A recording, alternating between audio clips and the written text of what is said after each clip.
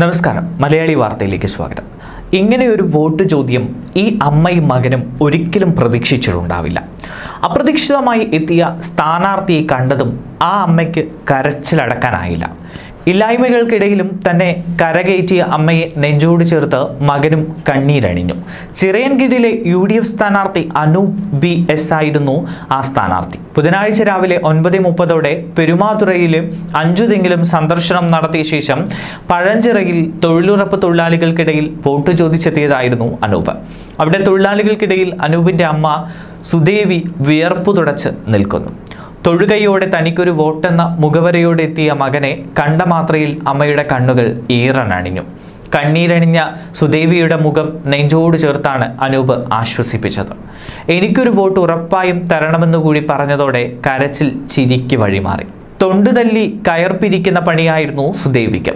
കയറിന്റെ പെരുമ ഒഴിഞ്ഞ് തൊഴിൽ കുറഞ്ഞപ്പോഴാണ് ജീവിക്കാനായി തൊഴിലുറപ്പ് പണിക്ക് ഇറങ്ങിയത്.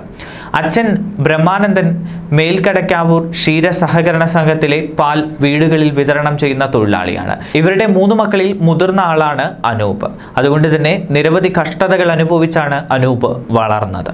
സോഷ്യൽ മീഡിയയിലടക്കം ഇത് വലിയ രീതിയിൽ ഇപ്പോൾ ചർച്ചയാണ്.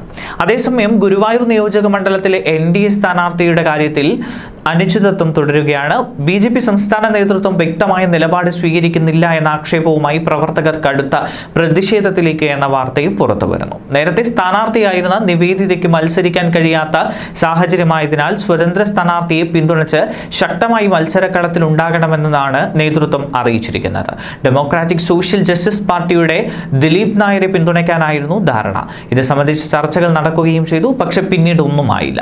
അതേസമയം ദിലീപ് നായരെ പിന്തുണയ്ക്കുന്നതിൽ എൻ വലിയൊരു വിഭാഗം എതിർപ്പ് പ്രകടിപ്പിക്കുകയും ചെയ്തിരിക്കുകയാണ്. D S G P N S എസുമായി സ്വരച്ചേർച്ചയില്ലാത്ത സംഘടനയാണ് എന്നും എൻ ഡി എ പിന്തുണ നൽകിയാൽ എൻ എസ് എസിന്റെ എതിർപ്പ് ഏറ്റുവാങ്ങേണ്ടി വരുമെന്നും ബി ജെ പി മണ്ഡലം ഭാരവാഹികളുടെ യോഗത്തിൽ അഭിപ്രായമുയർന്നു. എന്തു തന്നെയായാലും എൻ ഡി എക്ക് തെരഞ്ഞെടുപ്പിൽ സ്ഥാനാർത്ഥി ഇല്ലാതിരിക്കുന്ന സാഹചര്യം ഉണ്ടാകാൻ പാടില്ല എന്നും പ്രവർത്തകർ നേതൃത്വത്തെ അറിയിച്ചിട്ടുണ്ട്. നിയോജക മണ്ഡലത്തിലെ തദ്ദേശ സ്ഥാപനങ്ങളിൽ ബി ജെ പിക്ക് ജനപ്രതിനിധികളായി പത്ത് പേരുണ്ട്. ഗുരുവായൂർ നഗരസഭയിലും എങ്ങണ്ടിയൂർ കടപ്പുറം പഞ്ചായത്തുകളിലുമായി ഈ രണ്ട് അംഗങ്ങളുമുണ്ട്. പുന്നയൂർക്കുളത്ത് മൂന്ന് പേരും ഒരുമനയൂരിൽ ഒരാളും ജനപ്രതിനിധികളായി ബി ജെ പിക്കുണ്ട്. ഇക്കുറി നിയോജക മണ്ഡലം തെരഞ്ഞെടുപ്പിൽ മുപ്പതിനായിരം വോട്ടുകളാണ് ബി ജെ പി പ്രതീക്ഷിച്ചിരുന്നത്. പാർട്ടി ചിഹ്നത്തിൽ സ്ഥാനാർത്ഥിയുണ്ടെങ്കിലേ അത്രയും വോട്ടുകൾ ലഭിക്കൂ എന്നാണ് പ്രവർത്തകരുടെ വിലയിരുത്തൽ.